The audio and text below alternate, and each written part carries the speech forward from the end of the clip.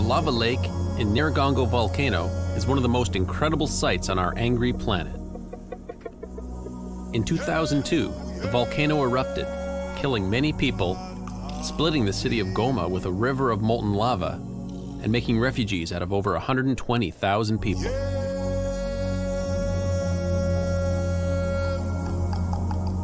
I wanted to see this dangerous volcano and to explore the risk it presents to the people and the wildlife of the Congo.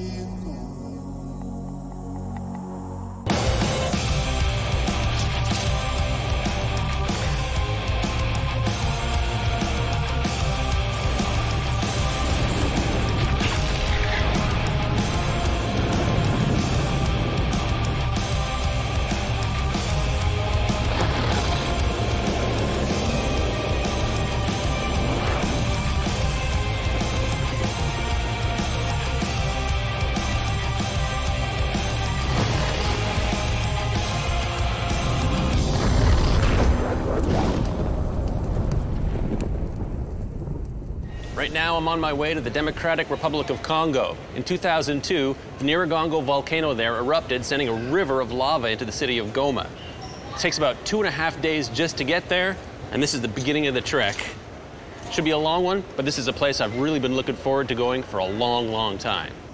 It's no easy feat just to get to this place. We've got to take the red eye flight across uh, the Atlantic to London. Then it's another red eye flight from London to Addis Ababa in Ethiopia. Then another flight from there to Kigali, Rwanda. And then we're travel by land from Rwanda into the Congo, and that's just to get to the city at the base of the volcano. So it's definitely an epic. This is flight one of three just to get into Rwanda. A lot of turbulence over the Atlantic tonight. It's been up and down and bumping around. I think I got maybe one hour's sleep.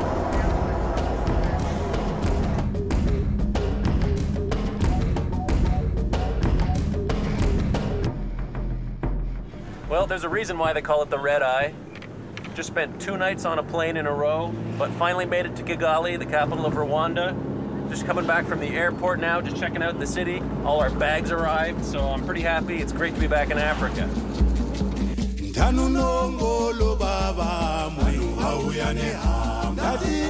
The people of Rwanda and Congo have an amazing spirit. With everything that's happened in this place, they're still so full of life. There's a rhythm to life in Africa. You can feel it the moment you arrive.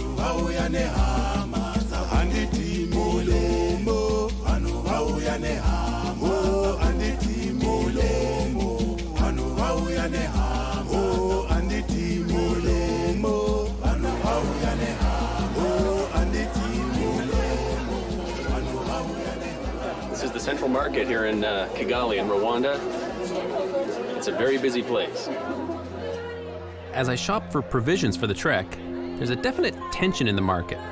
Everyone knows I'm a stranger, and people seem to be keeping a close eye on me.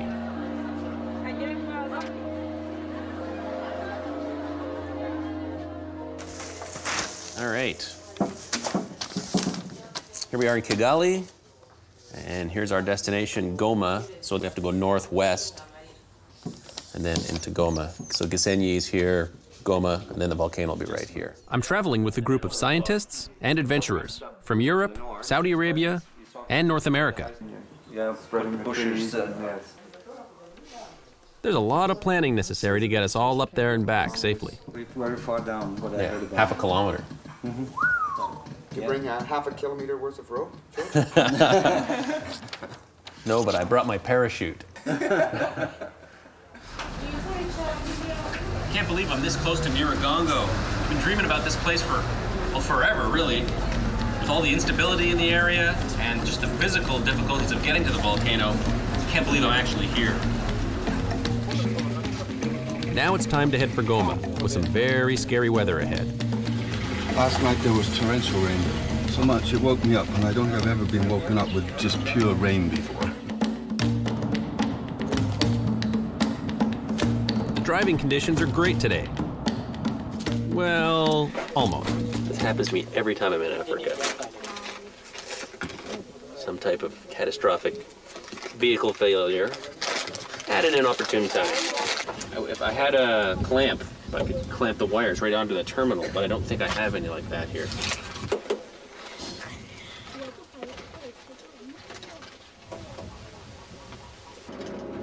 Eventually, we get the van fixed and press on. But every time we stop to take photographs, we're mobbed by curious kids, fascinated by our cameras.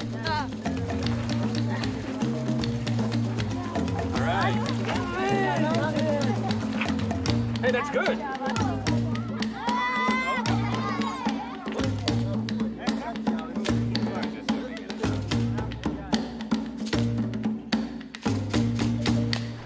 As darkness falls, we get back on the road. But of course, now the headlights won't work, and we have to pull out one of our movie lights to try and illuminate the sea of humanity on the side of the road. Okay, this is probably one of the hairiest adventures yet. We're actually on a dirt road in rural Rwanda, no lights. Headlights are gone from the car because of an electrical problem we had earlier in the day. It's probably only a matter of time before we end up in the ditch.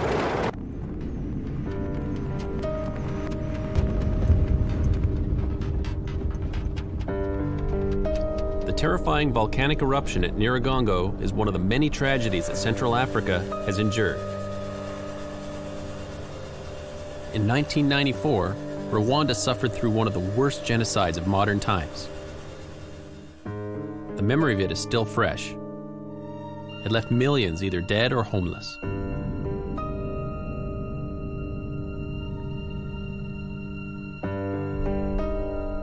This is in Ntarama Church, where 5,000 Tutsis fled and then hid here, so in seek of protection. And uh, the Interahamwe came and then killed them and butchered them. This particular church, you can see from the other side where they hacked through using machetes, hand axe, and grenades so as to kill the people who were inside. In the Netarama church, 5,000 Tutsis seeking refuge were all slaughtered by the Hutus. Their skulls, their bones, their blood soaked clothes have been preserved as a memorial to the massacre.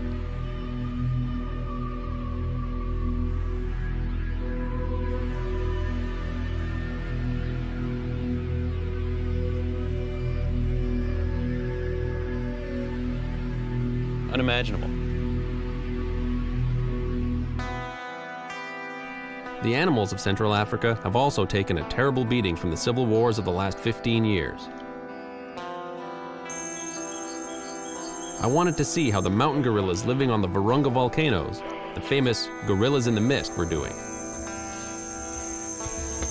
This jungle path leads up through the Virungas, and it's one of the only places on Earth where you can see the rare mountain gorillas. Only about 700 left on the planet. They're hard to find, too.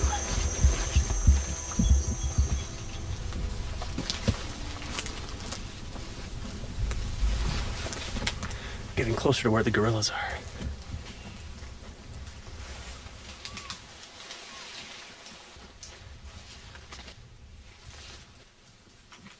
What a remarkable sight. These creatures have survived the ravages of man, largely because of people like Dian Fossey, who fought off poachers and the modern world to save them from extinction.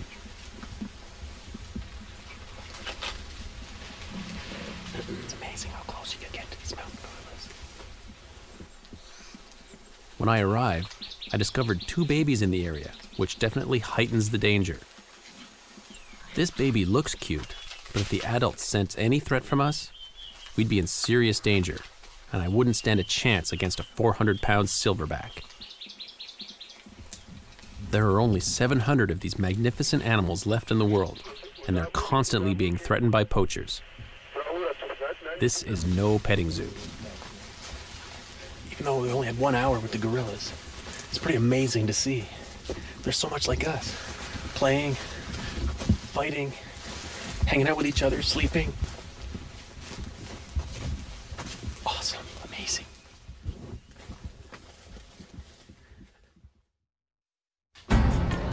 We arrive in Goma, our last stop before base camp. Put it mildly, Goma isn't Beverly Hills. How poor is the Eastern Congo? In Goma, they make their own bicycles out of wood. When we start handing out dollar bills to our photographic subjects, it almost causes a riot.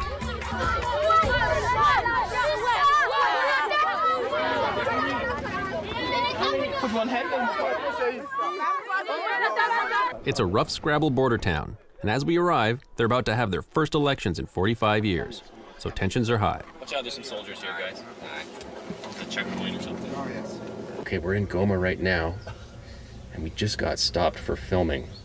And uh, some kind of secret police or some kind of uh, ununiformed uh, police officer just pulled us over, and we've been dragged over to the Bureau of Finance to have to pay up for a for a permit. I mean, we could have got arrested, but um, we were kind of warned about Goma. It's a bit of a rough town, so I'm kind of doing this on the sly. Okay, so we finally got got our filming permit here, so we had to stop in. We were delayed for 20 minutes, half an hour, not too bad by African standards, and uh, we're back on the road again. But not for long. I didn't hear you. What you said? That one. C'est lava. No? No? Okay. All right. What was that? Don't make Don't, pictures. don't take pictures. Well, our car just got stopped again, second time. There was uh, a checkpoint with numerous soldiers. I don't know how many more checkpoints and stops we'll have along this route, but uh, Goma is definitely a rough place. In 2002, Nyiragongo had a massive eruption that sent lava flowing right through the city of Goma. The disaster brought more hardship to a city that has suffered war and poverty for decades. While in Congo, I met with Jacques Durieux, a French scientist who's been living in Goma and studying the volcano for 30 years. During the last eruption in 2002, we have been extremely lucky because the lava flows through that detentor of the city were moving at a speed between 5 and 8 kilometers per hour, allowing the people to, to run away. If we do have in the city lava flows at a speed between, I don't know, 20 to 40 kilometers per hour, it will be a huge catastrophe. Uh, that eruption just occurred after 11 years of war. And the volcano was more impressive to the people than the 11 years of war. This lava flow actually split the city of Goma right in half. Crossed the road, crossed the airport, went right into the lake, Lake Kivu. It was the lowest fracture point on the volcano. And it's an extremely wide lava flow here, and literally it divided the, the city right in half. The lava of Nyiragongo is some of the fastest flowing in the world. In the 1977 eruption, even elephants were caught by the roaring river of lava. Although even with our filming permit, we can't film at the airport, so you can't see the lava across the tarmac. But it's uh, quite a sight to see, cut right through the middle of the city and all the way down to the lake. Tremendous seeing this. It must have been incredibly hot. What a sight back in 2002 when this came through. Whew.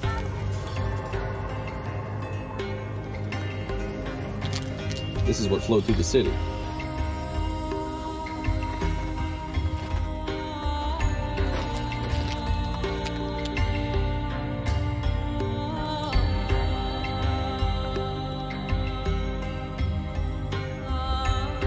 In 2002, cars and trucks were engulfed before they could be moved, and they're still there today. A permanent reminder of the power and unpredictability of an active volcano.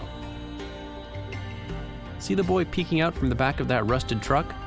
Hard to believe, but that's his home now. If Nyiragongo blows its stack again, what will happen to this shanty town and the people that live in it?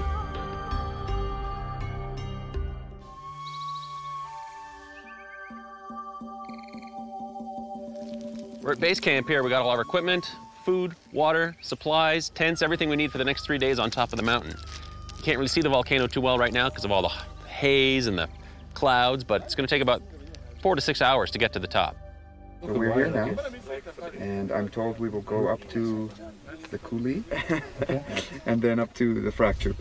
Now the day-long trek up the volcano has begun. The last leg of our journey, six hours, straight up.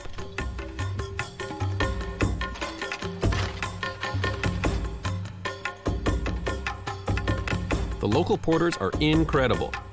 This is a challenging climb, and these guys do it at speed. They also have pretty interesting stories to tell about their experiences with morts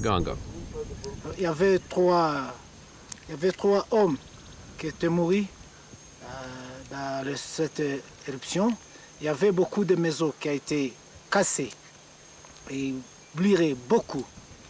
Avec des plantes, des haricots, des patates douces, des pommes de terre, des choux, Yeah. des bananes. Tout s'était brûlé. Wow.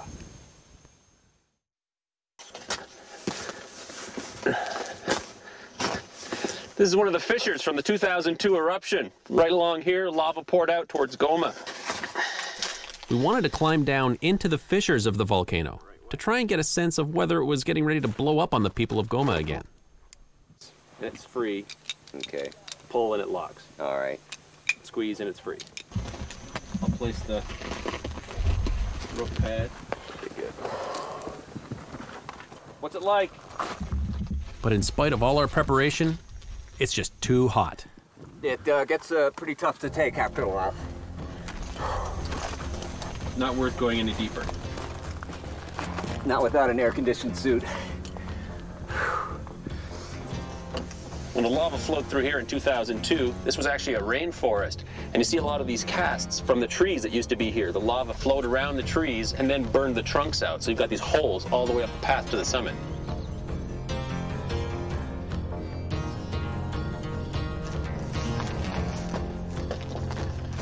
About two hours left to climb. The steepest part.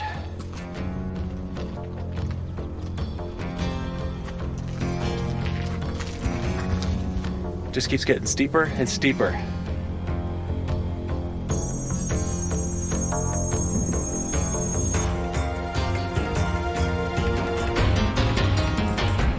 Not too far from the top, maybe 15, 20 minutes, but it's extremely steep trying to get up this. It's you gotta go really slow.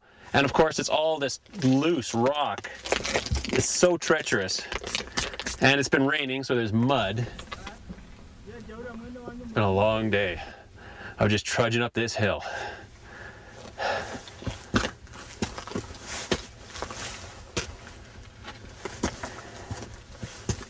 I can't wait to get to the top of this thing.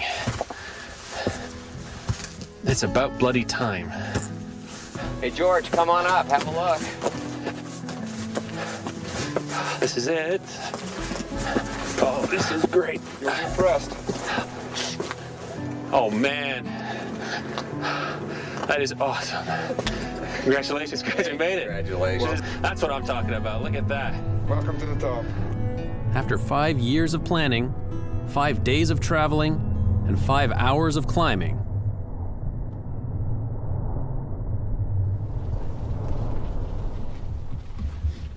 It just gives you an idea of the visibility. Since we're socked in with cloud right now, there's nothing we can do. Just waiting for the Nyiragongo weather to clear.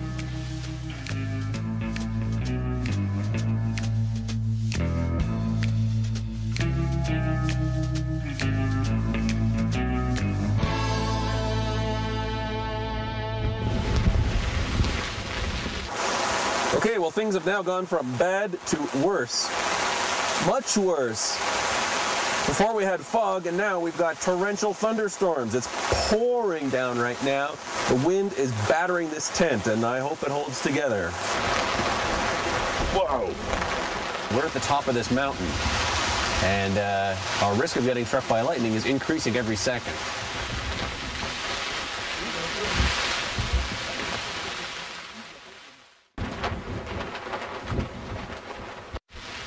This storm has been absolutely relentless. It hasn't given up for almost two days now.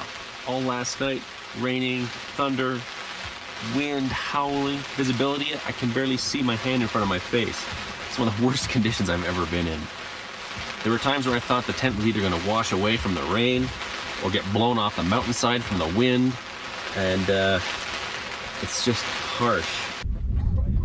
these conditions are testing the limits of even the most seasoned explorers.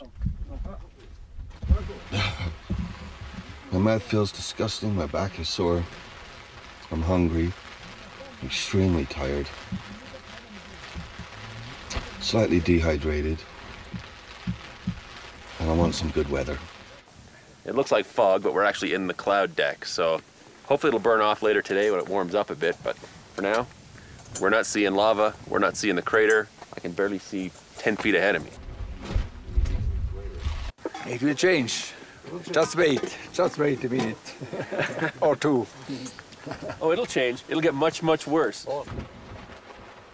Because of the deteriorating weather conditions, we use our satellite phone to relay information about our situation. Oh, yeah, the crater is absolutely huge. And uh, I'm really hoping that it clears out before we have to come back down the mountain to get another good look at this thing. So we're basically on 24 hour watch, and if anyone sees it clear up, then they let everybody else know.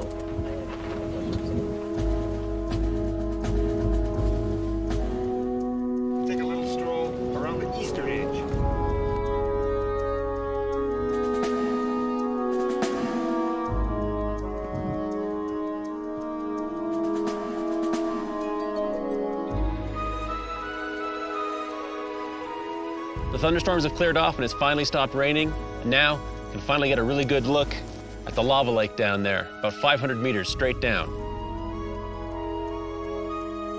After months of planning and a long, backbreaking journey, we've made it. Now, we wait for darkness to witness one of the rarest and most spectacular sights on the planet, Nyiragongo.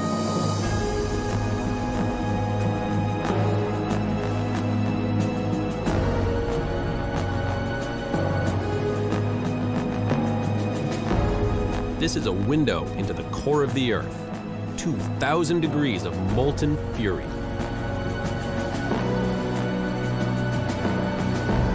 It's an amazing sight, and a reassuring one.